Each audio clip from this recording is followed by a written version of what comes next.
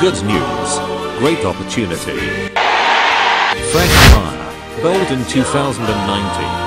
RCCG. Breakthrough Church Bolton. Greater Manchester. United Kingdom. Let your fire fall and make me whole again. Will be hosting Pastor Enoch Adeboye Destinies will be transformed. and Pastor Mrs. Folu Adeboye, Mother in Israel, the General Overseer of the Redeemed Christian Church of God. Date, Sunday, 20th of October 2019.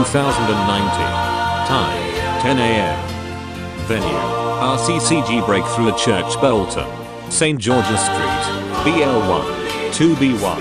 Admission is free. For more information, email info at rccgbreakthroughchurch.org or admin at rccgbreakthroughchurch.org and also call 0120438885 or call 079034588803. God bless you.